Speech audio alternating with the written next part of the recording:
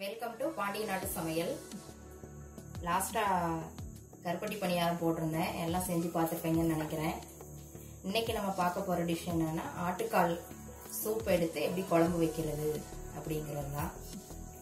அதுக்கு என்னென்ன தேவைங்கிறத பார்க்கலாம் வாங்க. சின்ன வெங்காயம் ஒரு இருபது இருபத்தஞ்சி வெங்காயம் கட் பண்ணி வச்சுருக்கிறேன். சூப்புக்கு கொஞ்சம் போடுறதுக்கும் தாளிக்கிறதுக்கும். அதே சின்ன வெங்காயம் அரைக்கிறதுக்காக எடுத்து வச்சுருக்கேன் பவுலில். ஒரு இருபத்தஞ்சி வெங்காயம் பக்கம் போதும். தேங்காய் துருவுனது. உப்பு. இஞ்சி பூண்டு பேஸ்ட்டு ஒரு மூணு ஸ்பூனு தக்காளி ரெண்டு. குழம்பு மிளகாத்தூள். ஒரு மூணு ஸ்பூனு மிளகுத்தூள் ஒரு ஸ்பூனு மஞ்சத்தூள் ஒரு ஸ்பூனு கருவேப்பிலை தேவையான அளவு. மல்லி இலை தேவையான அளவு. சீரகம் ஒரு ஸ்பூனு. சோம்பு ஒரு ஸ்பூனு. மிளகு ஒரு ஸ்பூனு. பட்டை ஒரு மூணு துண்டு. அண்ணாச்சி மொக்கு சின்னது. கிராம்பு மூணு. கசகசா ஒரு ஸ்பூனு. ஆட்டுக்கால் ஒரு நாலு கால். நான் நல்லா கழுவிட்டு அந்த கருகல் வாசனை அடிக்கும். அதுக்காக நான் உப்பு போட்டு மஞ்சத்தூள் போட்டு ஒரு பத்து நிமிஷம் ஊற வச்சிருக்கிறேன். இதை நல்லா ஒரு நாலஞ்சு டைம் கழுவணும். வாங்க பார்க்கலாம். நல்லா கழுவிக்கோங்க. இதை ஒரு நாலஞ்சு டைம் கழுவணும். அப்பதான் அதோட வாசமெல்லாம் அடிக்காமல் இருக்கும். கருகல் வாசம் அடிக்காமல் இருக்கும். நான் ஏற்கனவே நிறைய டைம் கழுவிட்டேன்.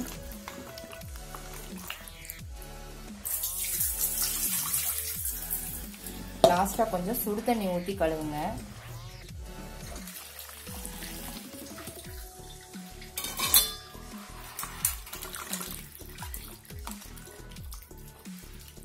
சுடு தண்ணி ஊற்றி கழுவுனீங்கன்னா அந்த ஒரு ஸ்மெல்லு அடிக்காது உங்களுக்கு.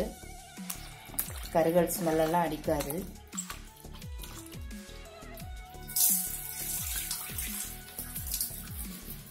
இதை இப்போ குக்கரில் போட்டு நம்ம வேக வைக்கலாம். இப்போ ஆட்டுக்காலை நான் குக்கரில் போட்டிருக்கேன். இதில் என்னென்ன போடுறேன்னு பாருங்க. கட் பண்ணி வச்ச சின்ன வெங்காயம் பாதி போட்டுக்கோங்க இதில். தக்காளி பாதி போட்டுக்கோங்க.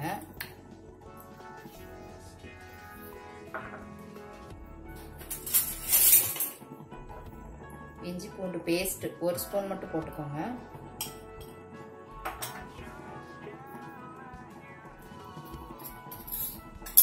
மிளகுத்தூள் ஒரு ஸ்பூனு. மஞ்சத்தூள் ஒரு ஸ்பூனு.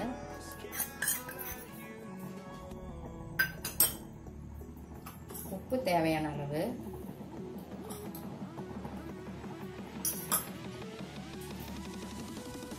கொஞ்சம் மல்லி இலை போட்டுட்டு நான் அரிசி களைஞ்ச தண்ணி ஊத்துறேன்.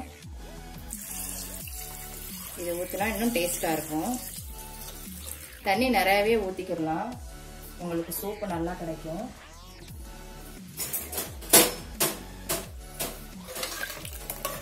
இது நல்லா கிண்டி விட்டுட்டு குக்கரை மூடி வச்சிருங்க. குக்கரை மூடி வச்சு நான் ஒரு பத்து விசில் விடுவேன் என்னோட குக்கருக்கு உங்களுக்கு தேவையான அளவு உங்கள் குக்கரில் எந்த மாதிரி விசில் விட்டு இறக்கணும்ட்டு பிளான் பண்ணிக்கோங்க. நான் பத்து விசில் வைப்பேன். இப்போ நம்ம மசாலா ரெடி பண்ணுறதுக்கு என்னென்ன போட்டு வதக்கலாம்னு சொல்கிறேன் நல்லெண்ணெய் விட்டுக்கோங்க ரெண்டு ஸ்பூனு நல்லெண்ணெயே யூஸ் பண்ணுங்க. நான்வெஜ்ஜுக்கெல்லாம் நல்லெண்ணெய் தான் டேஸ்டாக இருக்கும்.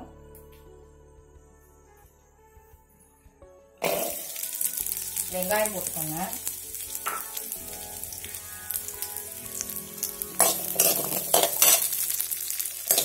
நல்லா வதக்கிக்கோங்க. வெங்காயம் வத கொஞ்சம் வதங்கினதுக்கப்புறம் பட்டை அன்னாச்சி முக்கு கிராம்பு மிளகு சீரகம் சோம்பு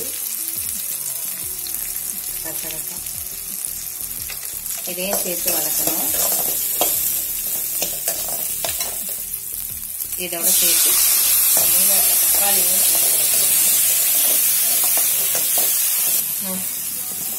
இதோட துருவன தேங்காயும் போட்டு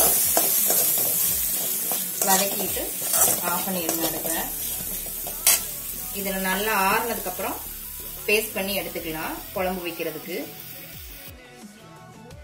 பாருங்க விசில் இறங்கிருச்சு. உள்ள எப்படி வெந்திருக்குன்னு பார்க்கலாம். பாருங்க சூப்பரா வந்திருக்கு. நம்ம எண்ணெயே ஊத்தல. இதுல எப்படி எண்ணெய் மிதக்குதுன்னு தெரியுது அவங்களுக்கு இது அந்த சூப்பு காலில் உள்ள சூப்பு ஆட்டோட கொழுப்பு இது. இந்த சூப்பு குழந்தைங்களுக்குலேருந்து பெரியவங்க வரைக்கும் எல்லாருமே குடிச்சா உடம்புக்கு ரொம்ப நல்லது. நல்லா வெந்துருச்சு பாருங்க. சுடுது அதனால என்னால் காமிக்க முடியலை. நீங்கள் சரியாக வேகலைனாலும் இன்னும் ஒரு நாலு விசில் சேர்த்து விட்டீங்கன்னா நல்லா வெந்துடும் பாருங்க சூப் எவ்வளோ சூப்பராக இருக்குன்ட்டு. இதில் நீங்கள் வேணும்னா இன்னும் கொஞ்சம் கூட பெப்பரை ஆட் பண்ணி சாப்பிட்லாம். ரொம்ப நல்லது. சளி இது இருந்ததுன்னா எடுத்துருன்னு சொல்லுவாங்க. அடுத்து நம்ம குழம்பு வைக்கலாம். ஒரு கடாய் வச்சிருக்கிறேன். நல்லெண்ணெய் மூணு ஸ்பூன் ஊற்றிட்டோம்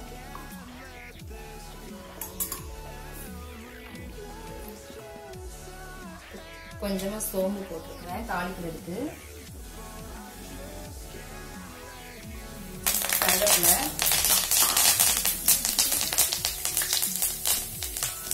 கட் பண்ணி வச்ச மூடி வெங்காயம்.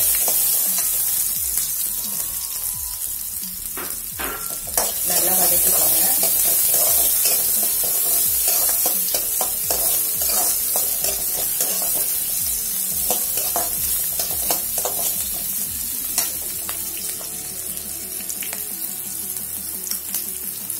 இதோட ஒரு ரெண்டு ஸ்பூன் இஞ்சி பூண்டு பேஸ்ட் போட்டுக்கோங்க. அவங்க நிறைய தேவைப்பட்டாலும் போட்டுக்கலாம். டேஸ்ட்டாக தான் இருக்கும்.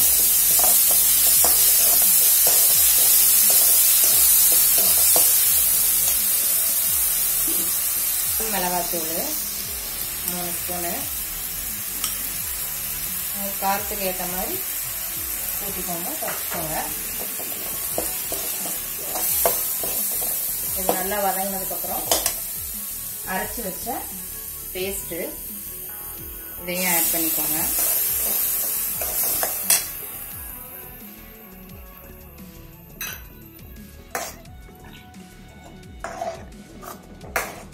இது நல்லா வதக்கிக்கோங்க. இதோட தேவையான அளவு உப்பு. அதில் கொஞ்சம் போட்டிருக்கிறோம். கால் வேக வைக்கும் போது தேவையான அளவு போட்டுக்கோங்க.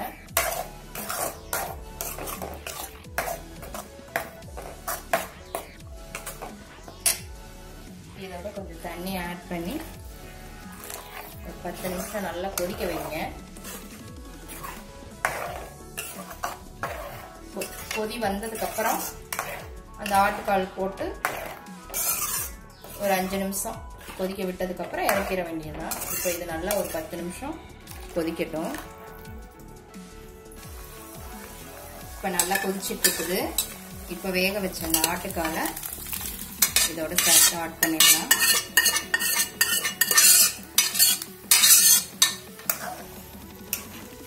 நல்லா கொதிக்கட்டும் ஒரு பத்து நிமிஷம்.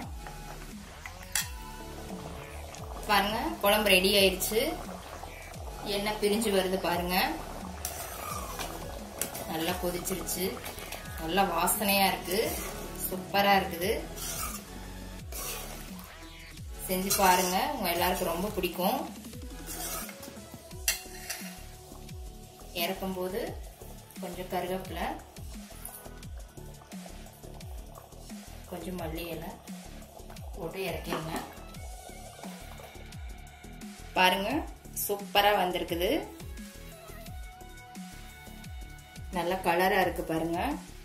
செஞ்சு பாருங்க சூப்பராக இருக்கும். ரொம்ப பிடிக்கும் உங்களுக்கு. செஞ்சு பார்த்து சாப்பிட்டுட்டு கமெண்ட்ல போடுங்க. பிடிச்சிருந்தா லைக் பண்ணுங்கள் ஷேர் பண்ணுங்கள் சப்ஸ்கிரைப் பண்ணுங்கள் பக்கத்தில் இருக்க பெல் பட்டன் அமுக்குங்க. அன்போடு சமைத்து ஆனந்தமாய் உண்டு இன்பமாய் வாழுங்கள். வாழ்க வளமுடன். எங்கள் சேனலை லைக் பண்ணி சப்ஸ்கிரைப் பண்ணி சப்போர்ட் பண்ண எல்லாருக்கும் நன்றி. சப்ஸ்கிரைப் பண்ணாதவங்க சப்ஸ்கிரைப் பண்ணிடுங்க வாழ்க